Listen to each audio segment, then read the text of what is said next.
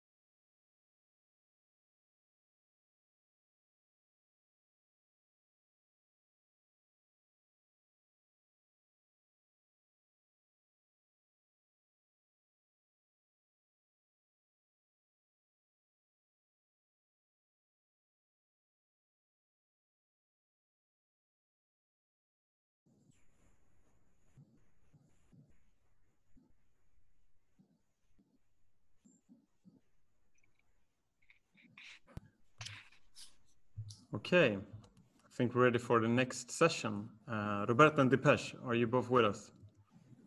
Uh, Yep. yes. But my video, I think has, it has to be turned on from your end. Let's see here. Mine too. Yes, let's see here. Um,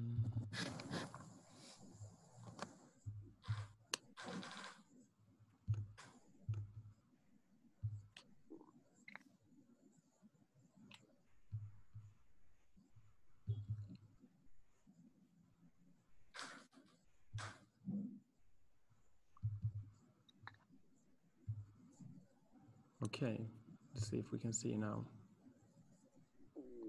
Um,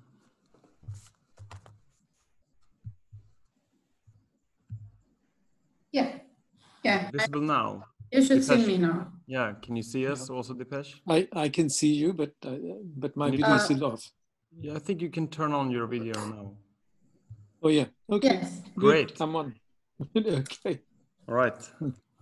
So hi everyone. Good morning or good afternoon. It depends where you are. Yeah. Good morning from Chicago.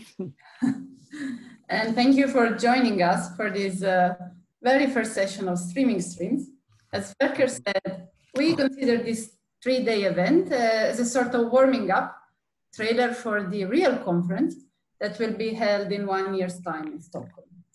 So my name is Roberta Biasillo and I'm an environmental historian working at the Environmental Humanities Laboratory. And I will coordinate this session with uh, Johan Gärdebo. Johan uh, holds a PhD in history of science, technology, and the environment from the division, and is a historian of technology. So before uh, handing the word over to him for a few technical guidelines, I would like to thank all our colleagues that are right in the back, yeah, there, uh, and are dealing now with all the logistics uh, of these online meetings and the members of the organizing committee. Uh, so if you want to know more about us and about the conference, you can visit the division webpage. And I also encourage you to visit the conference website, meetstreams.com. So Johan, do you want to give us a few details on how to post questions? Yeah, sure. So uh, the way would, this will progress is that you who are listening in um, will be able to ask questions to Dipesh, and um, uh, you do that by clicking on the Q and A, and you post your questions there. Once you go into the Q and A section, which is um, at the bottom corner of your Zoom window, uh, you should also be able to see other questions. So if there is other questions, you can also uh, vote on them if you think they are um, similar to the kind of questions you want to see raised. And we'll bring them up later on as the conversation goes along. Uh, but, but without further ado, we can. I think we can kick this off. When when the, how, the session is for an hour, Johan? A, a bit less than an hour. Okay. Okay. That's good to know. Uh, yeah, I, I, I want to introduce our guest. Uh, even if Dipesh Chakrabarty doesn't really need an introduction, and it's a great honor for all of us having him.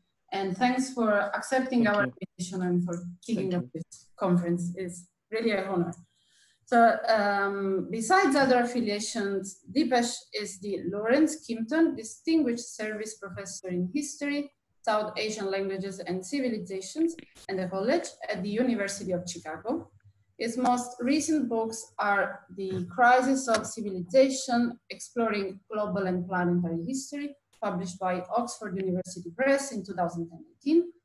And the other book is The Calling of History, Sir Jadunath Sarkar and His Empire of Truth, uh, published by University of Chicago Press in 2015.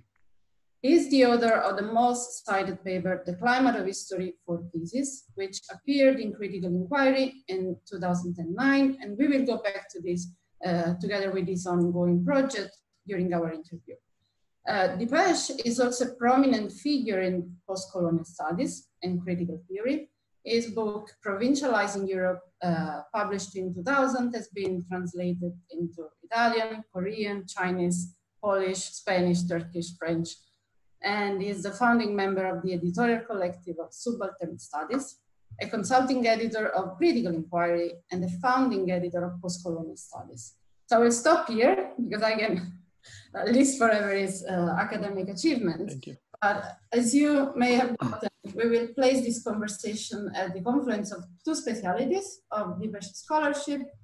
On, um, on the one side, um, the global and environmental history, and on the other side, decolonization. And the title of this conversation is uh, Tangled in Knots, and we will try to stick to it and explore uh, major methodological and theoretical tension within the environmental humanities field. And uh, one aspect I would really like to explore more and let emerge from this conversation is the decolonial dimension of the field of the environmental humanities, both in theoretical and empirical terms. Uh, if you're happy with this introduction, uh, Dipesh, I can start with the first question. Sure. Okay. Yeah. Uh, so the first note uh, I would like to raise here is the scale of analysis or the scales of analysis that, that are crucial in the environmental humanities. So you have demonstrated that the contemporary ecological crisis from which the environmental humanities emerged is a global phenomenon and also that climate change is a planetary conjunction. I'm using terms from your, uh, your scholarship. So on the one hand, you have established this strong connection between globalization and climate change related events. But on the other side, when we as scholars adopt a post-colonial, a decolonial or feminist perspective, uh, we find ourselves stressing place-based reconstructions, individual and group perceptions, and also individual feelings and stories. So can you explain how we can reconcile, if we can, this universal trajectory of history on one side and historical differences uh, that characterize stories from the fields. And of course, apart from those two extremes, uh, we can always scale up and scale down to achieve like inclusive and just understandings and reconstructions. Thank you. Um, so, obviously, whether you're a humanities person or whether you're a science person, um, humans are always dealing with matters on different scale. And uh, even in my university, the president de- deals with the university on a scale that is larger than the scale on which I deal with the university, right? So humans use numbers. they use they, we have ways of translating between scales. So when the president of the country of, of a country is dealing, or the prime minister is dealing with the budget of a country, that's different from me, my dealing with the budget of my family.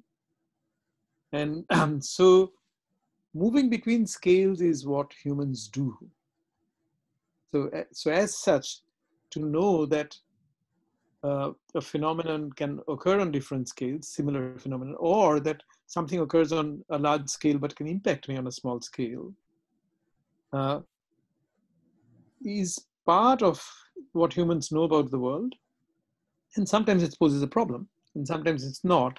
And sometimes we are not even aware of how the large scale figures in my individual life as a small scale thing. So to give you an example, um, so you know one of the claims made by uh,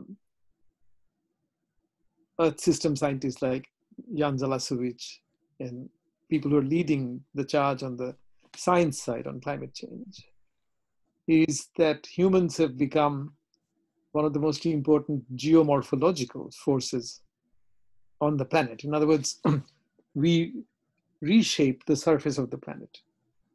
And um, not just on land, but even in the continental shelves. And one of the ubiquitous, iconic symbol of that, human capacity to move Earth from one place to another, are these yellow, the usually yellow colored caterpillar machines that you see everywhere, wherever you go in the world. If there's construction going on, you will see one of these big machines digging earth out.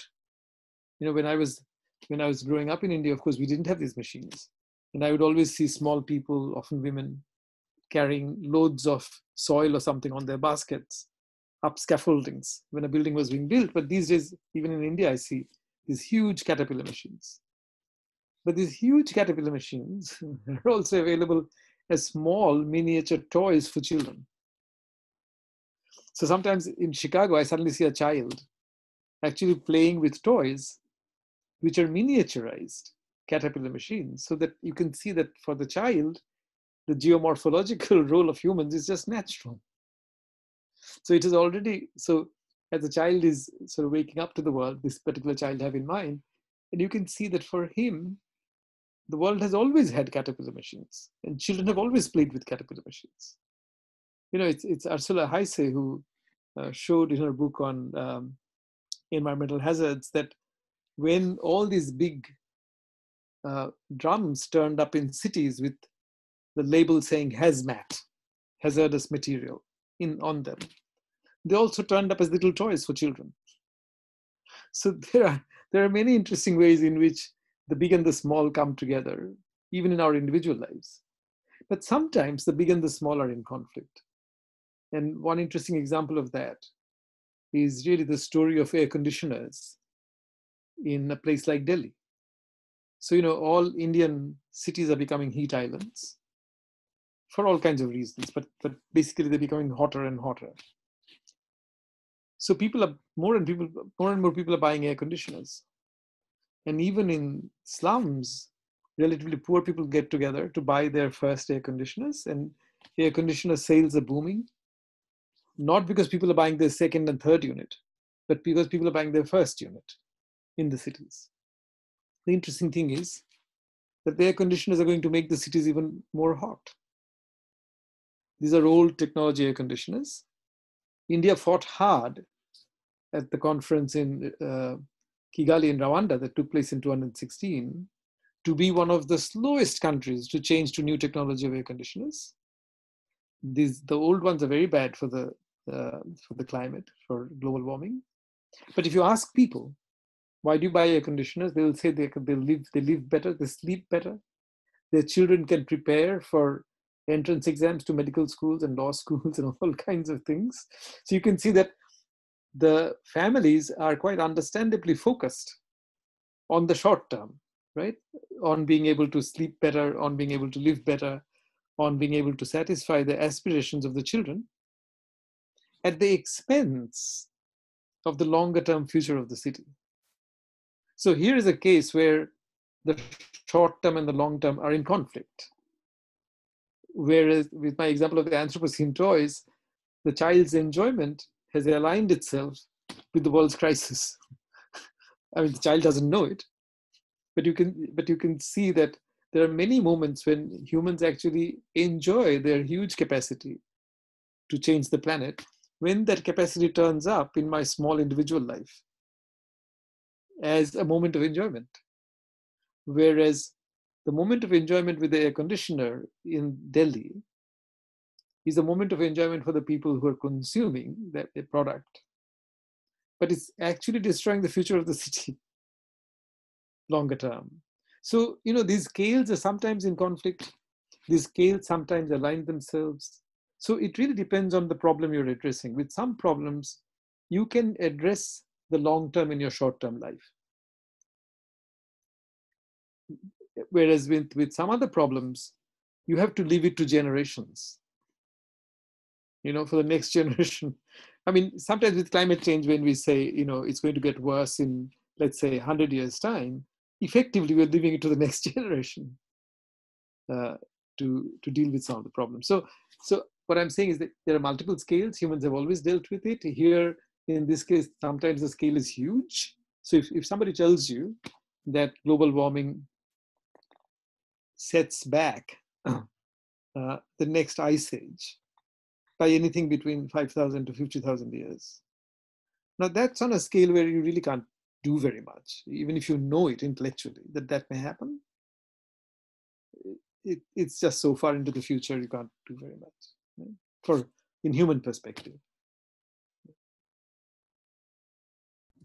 So okay, I I will try to uh, build on this like alliance or uh, conflicts that can raise while we are analyzing uh, process and also this translation process you addressed to. And uh, you also mentioned the concept of the Anthropocene uh, that I think is quite crucial here. And the, the other notes um, that I would like to explore with you and also uh, brings back these um, points that you just raised is this relation between sciences and humanities. And these relations has changed over the last decades. And uh, so my question is, uh, first of all, if according to you, the environmental humanities are questioning this relationship and uh, rebalancing it in a different way, or uh, mm, when we try to translate and bring a term like the Anthropocene from one realm of knowledge, like the natural sciences, into another realm of knowledge, the humanities, what we can gain and also what we can lose in this, in this process. And um, so how, how are the environmental humanities uh, challenging or aligning with the scientific consensus on climate change? So as you know, um, so the Anthropocene is a very debated term, um, especially in the human sciences, both in humanities and in the social sciences. It's also a debated term among geologists. Otherwise, if they didn't debate it, it would be a formal term, right? The one reason why it has not been formalized is because not all geologists are in agreement that uh, that we need to rename this part of the Holocene as Anthropocene so it's, it's what I'm saying is it's a debated term even among geologists, as far as I understand it. Not everybody is on board with the idea, but many are. And it's also, but it's debated among uh, social scientists and humanists uh, for different sets of reasons. Uh, so, as you know, the some people are suspicious of the term because they think that to call a, a period by this name Anthropocene is like is like blaming the whole of humanity for a problem that really has been created by a section of humanity. So if you look at uh, either the nations that produce most of the greenhouse gases or the classes, you'll find that it's the more affluent nations. It's really 12 or 14 nations that produce the bulk of the greenhouse gases out of you know more than 150 nations in the world. It's one fifth of humanity that are more responsible for the production of these gases. So, so some people think, therefore,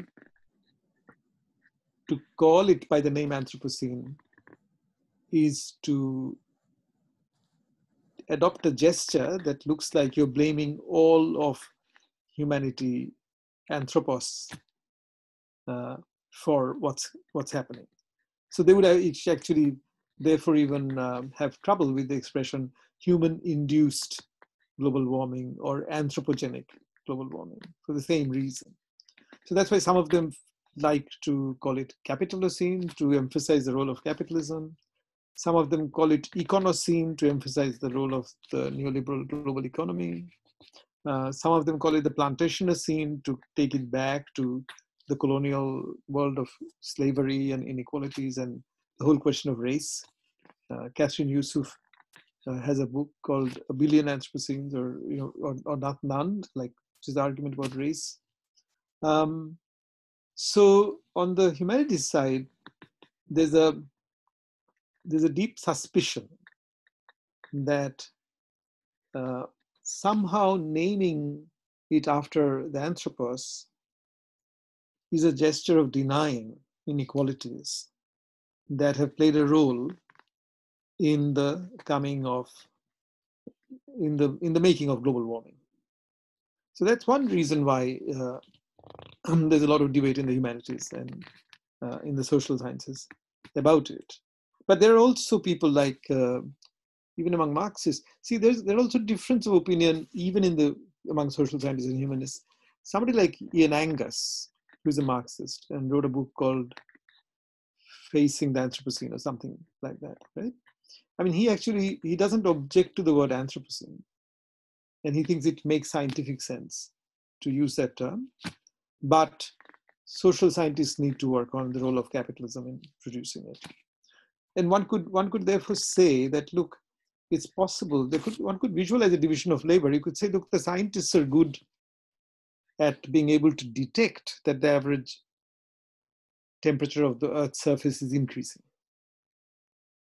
they're, they're also able to tell you that this has to do with fossil fuels, or with greenhouse gases, and therefore has to do with institutions. And then it is really up to social scientists and humanists to decide which institutions, why those institutions, right? And all I can say is that while there are strong opinions, even on the role of capitalism, but even within that camp, as there should be, there are differences of opinion. So somebody like Andreas Malm and Jason Moore, who were both otherwise in uh, favor of the word capitalism, disagree on how they view the role of capitalism.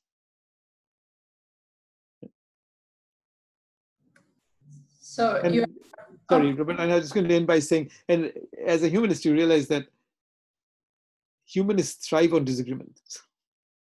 That's that's how we think. I mean, all our arguments are aimed at destabilizing uh, consensus, right?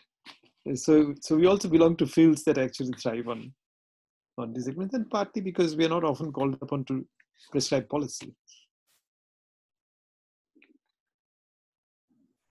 So uh, your idea is that, uh, I don't know if I'm right here, that the term Anthropocene is not losing momentum, it's just changing its shape and transforming. Basically, yeah. Just so to stress you could say there are many Anthropocenes.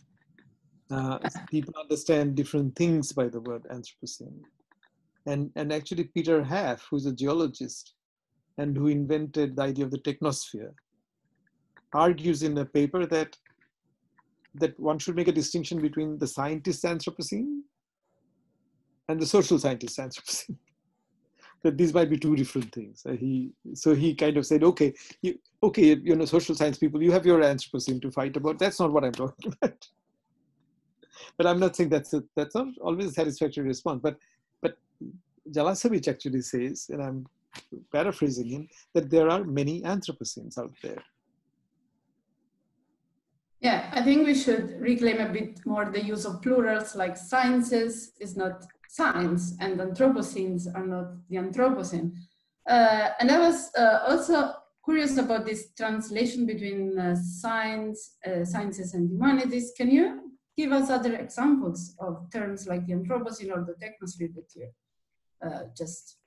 Uh, um, yes, I mean, particularly, see, I mean, as you can see, see what we call the sciences, uh, physics or chemistry or biology or geology. the world out there is, it's neither physics nor chemistry nor biology nor uh, zoology. The world is the mixture of all these things. I mean, we in our academic disciplines carve it up. So every academic discipline represents ways of seeing, ways of imagining the world. And even the Earth system scientists imagine an Earth system. We don't run into it, right?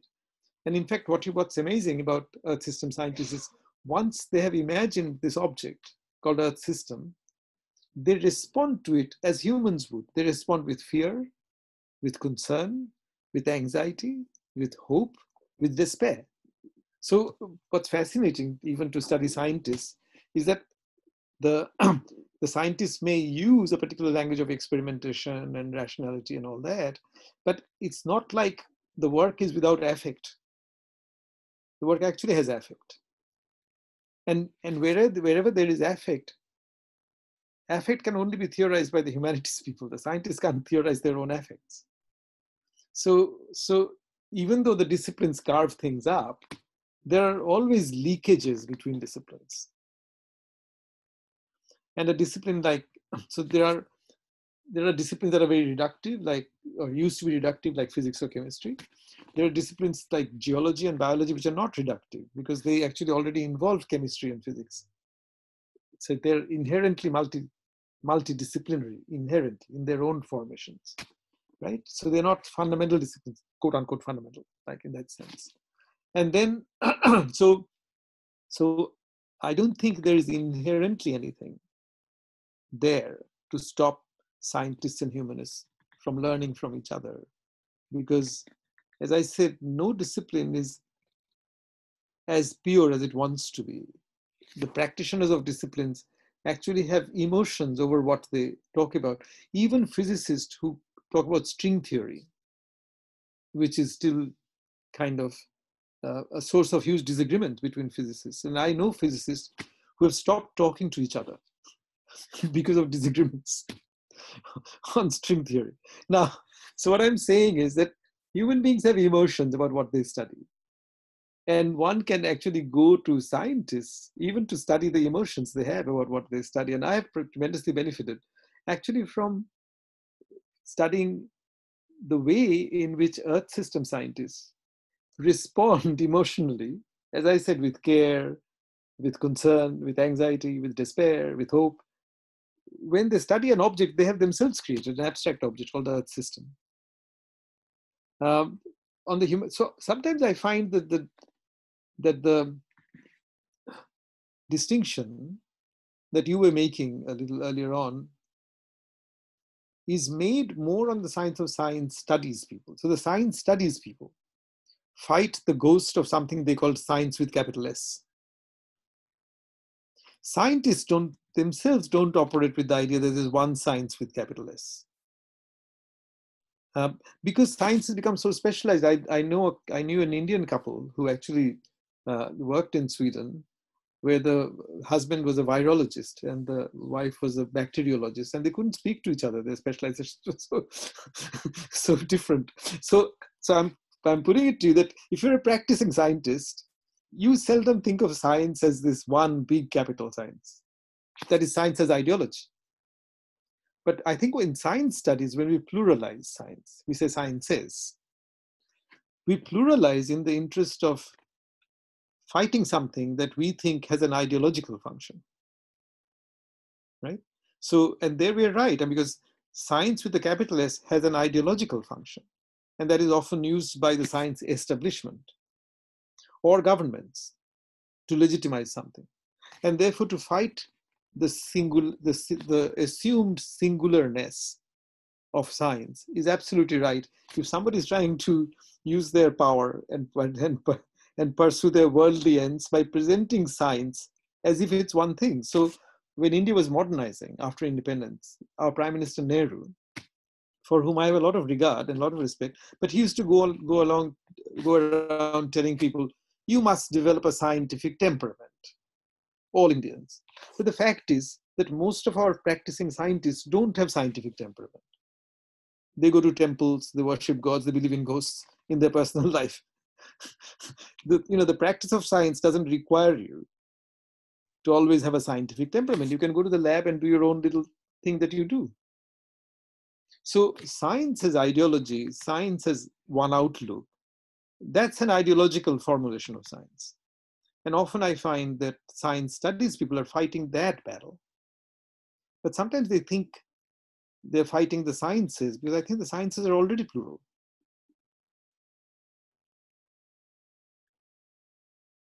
thanks for this answer. And I'm trying also to bring uh, comments from uh, the audience into this conversation. Sure. So I, uh, what you're like trying to say is that uh, as humanists, we can deal with different objects of, with mostly every with mostly everything, but via different like tools and channels. So with something we can uh, deal with via emotions, for example, by anxiety.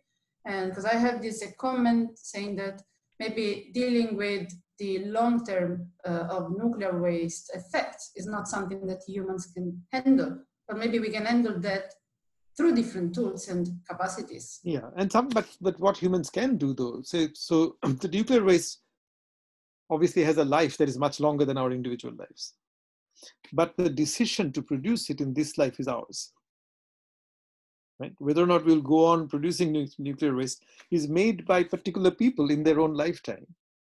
Even though once you produce the waste, the waste is a life that is much longer than your life. Uh, so, so we can, we have, we have certain kind of freedoms of certain decisions to make.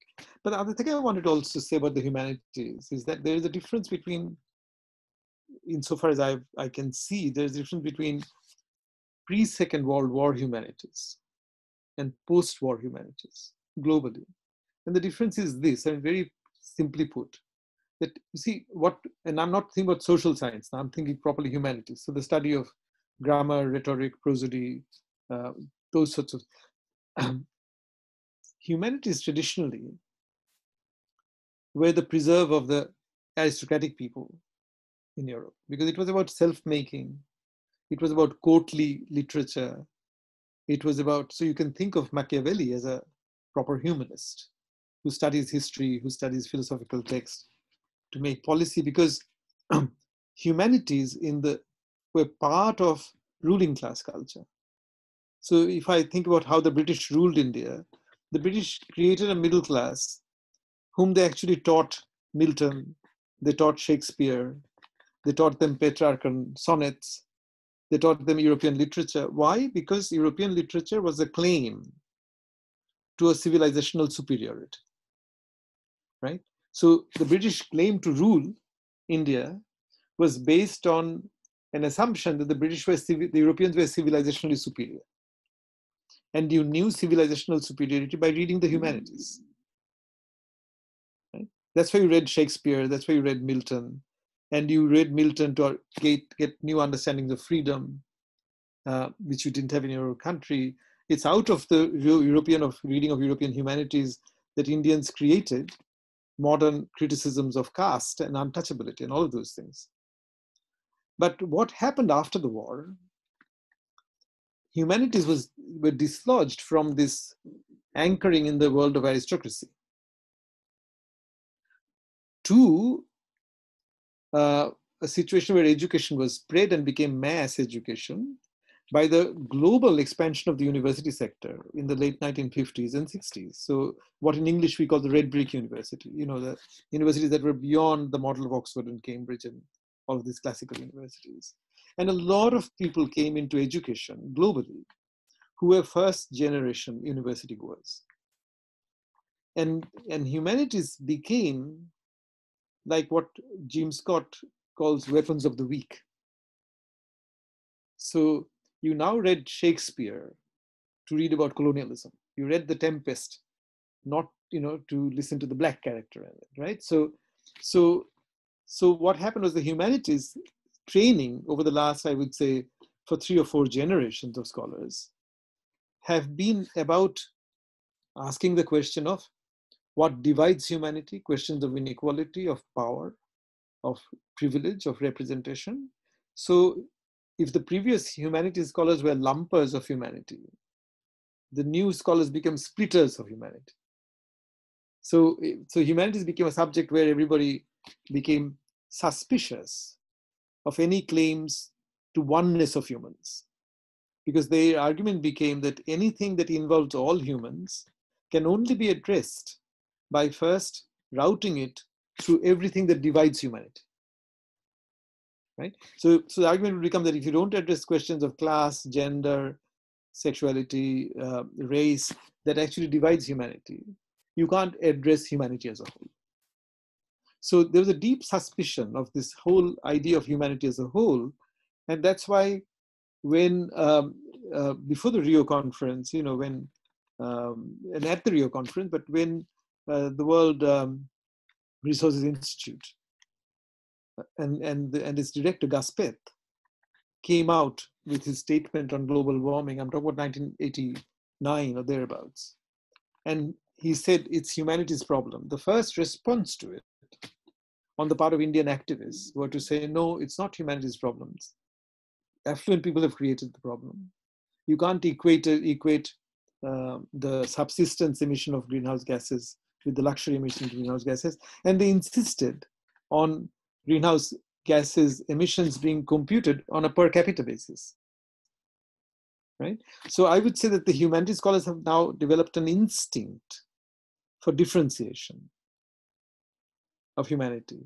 And, and any claim like Anthropocene that seems to talk about an undifferentiated humanity um, is immediately resisted because the training has been to emphasize and distinguish, differentiate humanity internally. Thanks. Uh, Johan, do you want to ask related questions before moving on?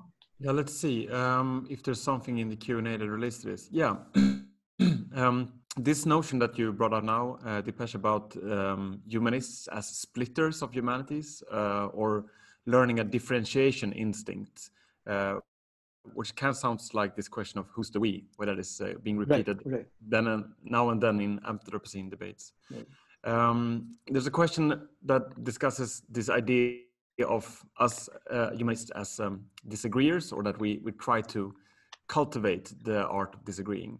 But at the same time, with regards to the subject matter, so to speak, the phenomena of climate change or environmental degradation or catastrophe as such, is there any way of cushioning this instinct with regards to developing, for lack of a better word, truth? Uh, or um, I mean, sometimes I think yeah. um, so. So you know, I mean, to give a particular example. So when I wrote my first essay Four Theses, one um, thing I was criticized for a lot by fellow uh, social scientists and humanists was because I had talked about humans having become a dominant species. And everybody objected, well, a lot of people objected to the word species because species seem to lump all humans together. Because humans are actually differentiated between by classes, by race, by all the everything that makes the world unequal. Whereas it's it's it has seemed to me, the more I've thought about it, that if you look at the history of the last 500 years, one could argue that capitalism both produces us as an internally unequal humanity, but also makes us, with our technology and the animals we farm and everything, a dominant species technology complex. So it can produce both of those outcomes at the two ends. They're not contradictory, but you have to shift your perspective to see either. Uh, but whereas, um, so what I found though, I found that a lot of the criticisms were actually thinking of them as either or. Whereas I was trying to think of them as being produced together at the same time. Okay. Uh, and, and that's why I think um, there's a real sort of work to be done um, to how we how we actually begin a conversation with um, disciplines like evolutionary biology, which for a, which both assume that a species can only be a species which is because it's internally differentiated, both socially and biologically. Otherwise, there wouldn't be natural selection, right? Mm-hmm. The species has to be internally different, right. but at the same time uses a unitary or unifying provisional concept like species. But because if you don't use the concept of species, then the idea of speciation wouldn't make sense. The idea of new species wouldn't make sense. Species extinction wouldn't make sense, right? So if you can, when you look at biological life, if you can use these concepts with respect to other forms of life, why couldn't one use the concept with respect to us, who are also a form of life? I mean, it's not like we have completely moved out of a Darwinian narrative of life on the planet, right? So, so my struggle has been to keep the perspective of the humanities and these perspectives together. And going back to the question that Roberta was asking, as a humanist, I always find you have to begin with the experience of the individual human, because that's how we exist. We exist as individual humans. We exist within our short term lives. We exist with our personal aspirations. My, the example of the air conditioner that I was talking about was to illustrate this that every individual makes for very valid, understandable reasons the decision to buy air conditioners. And you can't simply negate that experience by saying air conditioners are bad until you can give them other solutions, right? But at the same time, I can say that the, that the, that the, that the sum of these small decisions to buy air conditioners, the, the sum of it is bad for the city in terms of the city becoming hotter. Mm. But sometimes I find that that in our urge to differentiate, we lose sight of what's common. And the common is common doesn't the common is not the the opposite of differentiated. The common exists through the differentiation. Okay, so it's predicated on differentiation. Yeah, the common common is predicated. That's why I'm saying that capitalism both differentiates but produces a common reality, which is why people who are less privileged can aspire to the privileges of the more privileged. And without the revolution of aspiration, you wouldn't understand globalization. You wouldn't understand the fact that today, you know, in 2000, the Europeans and the North Americans constituted the major part of the world's consuming middle classes. Today, they constitute about 30%. So, in 20 years, people from other countries, Asians, the bulk of them would be Chinese, Indian, and others, have come to that dining table,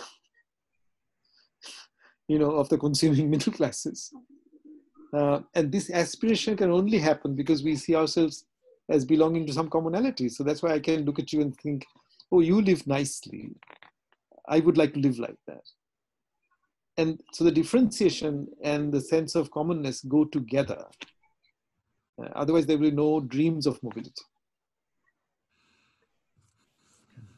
Yeah, thanks. And uh, since you uh, spoke a bit about this paper, The Climate of History Four Theses, and we know that you are finalizing a book manuscript. So yeah, it's actually in the press. It, it, it's called The okay. Climate of History in a Planetary Age. Yeah, so I mean, the titles, titles are really uh, similar. And a question that I would like to pose to you is how do you think that the implications of science of climate change for both historical theory and political thought have changed over the last 10 I'll, years? I'll give you a, I'll give you a quick answer. Yes, I yeah. think it, the implications of scientific uh, discussions on, on global warming are becoming visible for things that concern humanists and, and social scientists. And I'll give you a couple of examples. So first of all, even people who don't think consciously about earth system science or whatever, but read newspapers or listen to the media or watch the media, they all know about this distinction between renewable and non-renewable fossils. But this distinction itself speaks of the distinction between human time and planetary time. Because non renewable fossil fuels are perfectly renewable if you could wait for a few hundred million years. So when we say they're non renewable, what we mean is that they're non renewable over human time. So when we say there's excess carbon dioxide in the atmosphere, what we mean is that it's excess in relationship to the speed with which we would like the natural carbon sinks of the world to absorb carbon dioxide. In other words, when we say there's excess carbon dioxide, we actually saying that the earth does not work fast enough for our, our purposes, which is why we talk about sequestering carbon, drawing carbon down. So in many ways, the planet is becoming more and more visible, even when we don't consciously think of it. And let me give you the final example of that. So, you know, if you think of the creation of the IPCC, this Intergovernmental Panel on Climate Change, now it was set up following the success of the Montreal Protocol, which was to do with fixing the hole in the ozone layer, remember? Where Paul Crutzen actually, that's why he got the Nobel Prize for uh, coming with the chemistry of it, fixing the ozone hole. So we thought of global warming as a global problem. And we went back to the United Nations because it's the only agency we have for fixing global problems set up after the war, where the whole idea is that nations will come and argue about global problems with the assumption that there's infinite amount of time at the disposal of humanity for sorting them out. That was the assumption. So if you ask a question like when, what is the, when will Palestinians and the Israelis live in peace? Or when will Kashmiris live in a land that is not divided by nation states? There's no specific answer to it. They'll say, look, we'll have to work this out. It might take 200 years, it might take 500 years. We have to keep at it. The interesting problem about global warming and climate change is that scientists come with a definite calendar of time. They say, if you do not do this by such and such time, you'll have dangerous climate change. This is the first time we are actually facing not an indefinite calendar, but a definite calendar of action which poses a problem for UN. So, so think of the figure 2 degrees Celsius. We said that if you go beyond it, as you know, the scientists came up with 1.5 degrees Celsius as the scientist figure for dangerous climate change. Nations then bargained with scientists to get extra time, political extra time for you know using more fossil fuel and stuff, right? In the name of development, in the name of removing poverty. So the two degrees figure is a politically bargained figure, right? And all, but ultimately the fact that the scientists come up with definite calendar has to do with the with the point that that they're dealing with the planet. Whereas the united nations was dealing with the globe. The globe is a human construction. The planet is not. And i would say increasingly the questions of planetary governance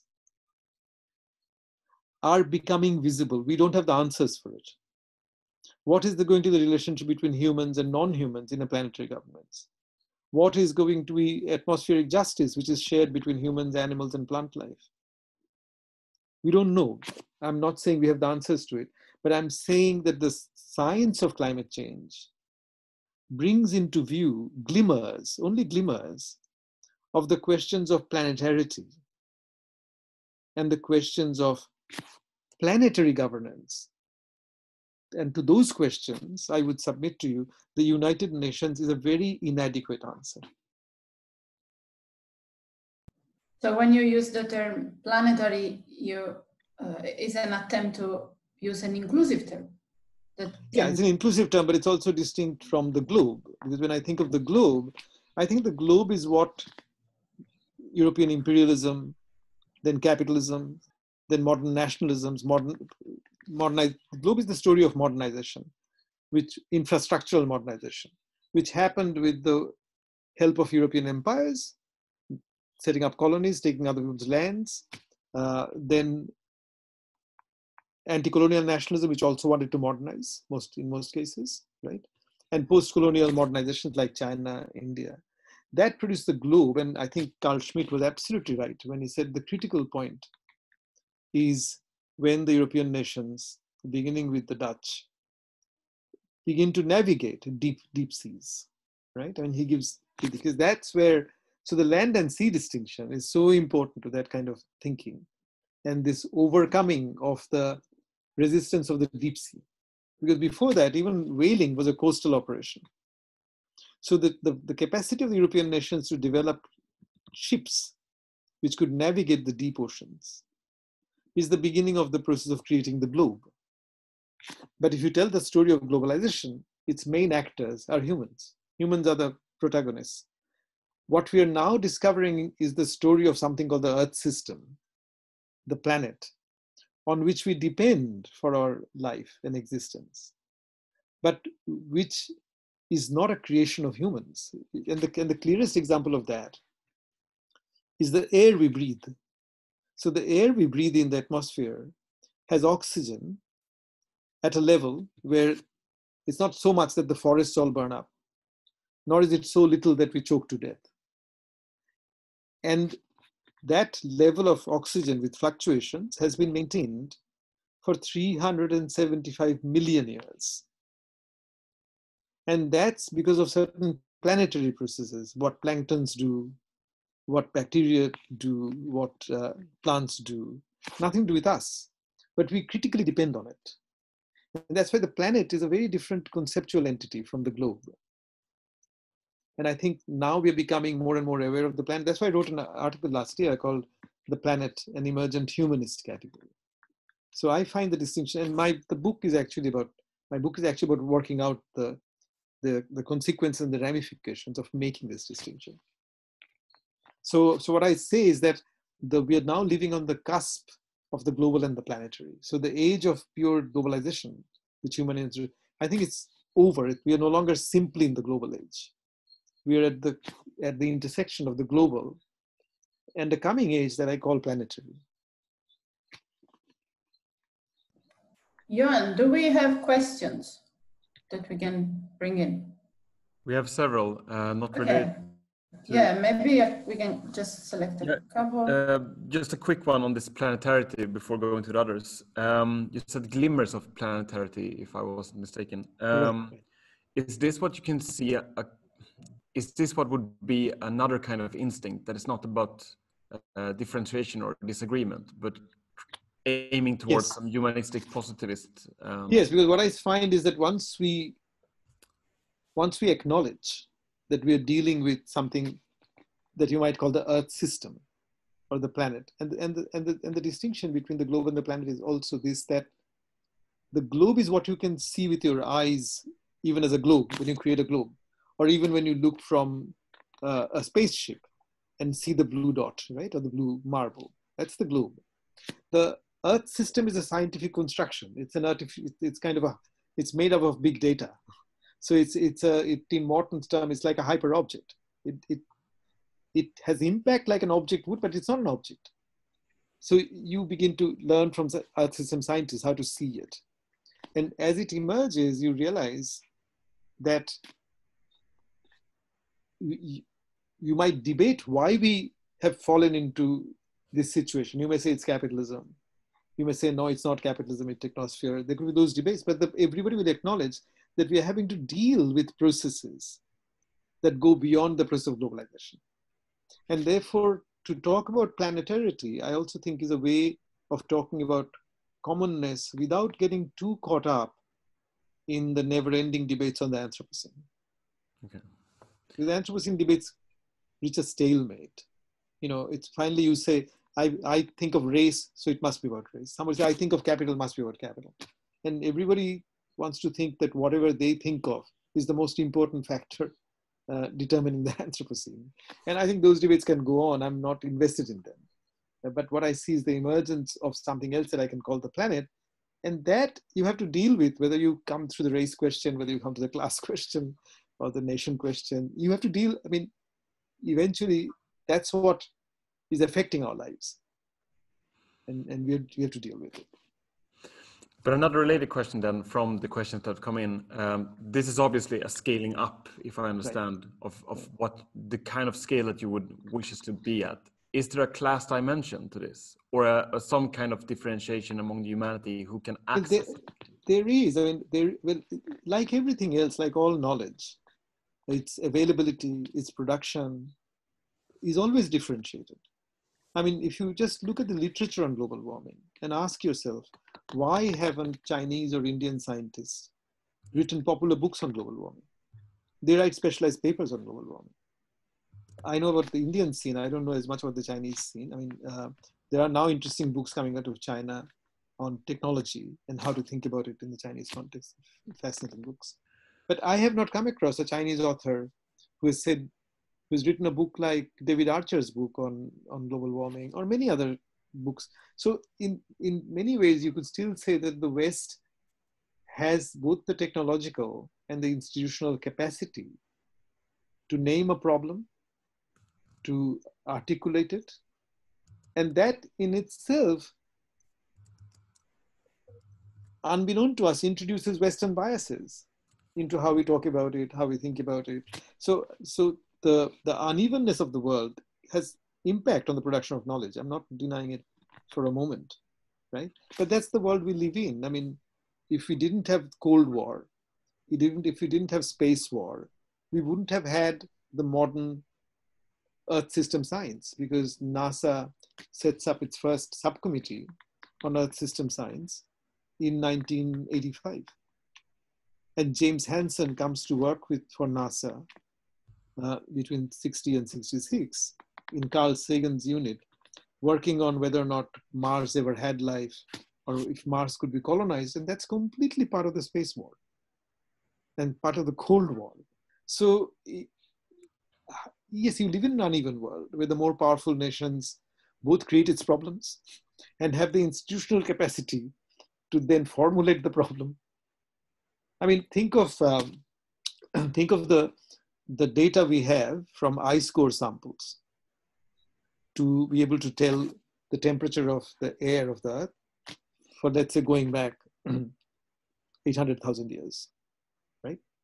Now, but how do we, where does the technology for digging comes? It comes from the same industry that gave the oil industry its digging technology. So the facts we are collecting about fossil fuel come out of the fossil fuel industry. I mean, the, the petroleum geologists, petroleum company geologists have played a very important role in actually producing a lot of data that, uh, that speaks to the problem of global warming. And uh, so, so you live in that world where uh, the part of the world that is damaging the planet is unfortunately also the part of the world that is equipped with institutions to, to produce its science. There are other parts of the, there are other resources that other parts of the world have. So you can go to indigenous societies and learn from them how humans might live as just one animal among many other animals. You can go to older religions, not axial religions like Islam or Christianity or Hinduism or Judaism, but to Australian Aboriginal religions to learn about why humans are not special in the scheme of things. So other societies have these other kind of resources we need. But, but in terms of the science of global warming, it comes out of a very uneven world. And therefore the public sphere, I mean, think of it, I mean, uh, Sverker was saying very interesting things about the place of Stockholm and Sweden in producing environmental humanities. And and he's totally right. But I'm but as a global citizen, I have to think, and why doesn't it come out of Delhi? Why is not Beijing? Why is not Moscow the place? Why does it happen in, in Sweden? So so there's a certain heritage of in, institutions, which includes business institutions as well as um, uh, university institutions, uh, academic institutions that produces this privilege. And you know, my best example of this, I often give to my classes is the it's Kant, the course that Kant used to teach on anthropology. It was based on travel literature. Now, if you look at the travel between Middle East, Iran, Persia, you know, the Arabic nations to India, there was a huge amount of travel when the Muslims were ruling India. And there's a huge amount of travel literature. But India did not have any institutional capacity to process that literature and produce a subject that you would call anthropology. So this historical institutional capacity of European nations, which also has to do with the rise of European empires and uh, capitalism and all of those things, which has created the uneven world, there's a legacy of it that you and I are part of and we have to deal with. That's a legacy we'll get back to discussing further in the streams, I guess. Roberta, uh, yeah. we have like three minutes left.